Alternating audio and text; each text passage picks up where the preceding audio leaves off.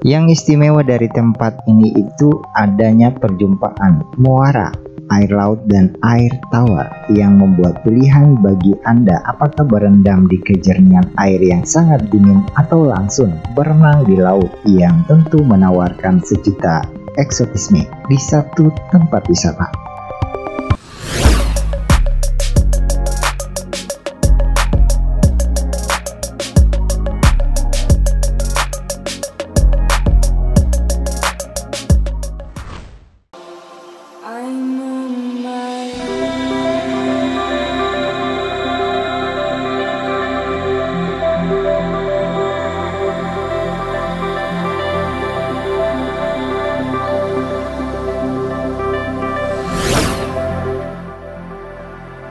Spot ini berada tak jauh dari lokasi wisata Pulau Osi, hanya beberapa kilometer saja di wilayah Kecamatan Seram bagian barat.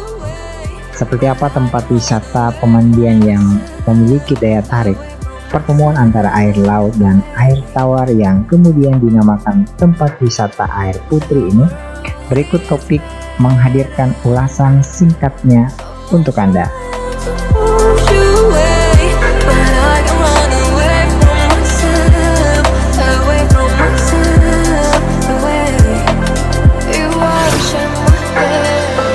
Oke baik sahabat, objek wisata pemandian air putri berada di Dusun Wayoho, Desa Kawa, Kecamatan Seram bagian Barat, Kabupaten Seram bagian Barat, Provinsi Maluku.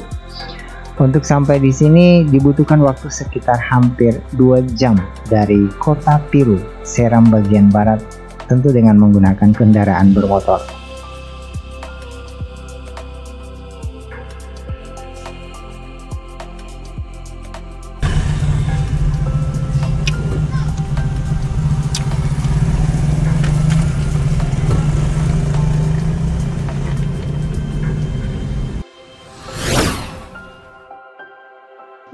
Tempat ini menjadi tren akhir-akhir ini bukan saja bagi masyarakat di wilayah Seram Barat, tapi banyak pengunjung yang datang dari kota di luar daerah untuk melepas libur bersama keluarga. Dan sejak mulai ramai dikunjungi, membuat pengelola wisata air putri menyediakan fasilitas ya, mulai dari kamar mandi, ada gazebo tempat berteduh, dan kemudian perlengkapan sarana mandi ya. Kehadiran objek ini secara otomatis uh, menghidupkan perekonomian masyarakat setempat ya. Terdapat banyak gerai yang menyajikan makanan dan minuman dengan harga yang bervariasi.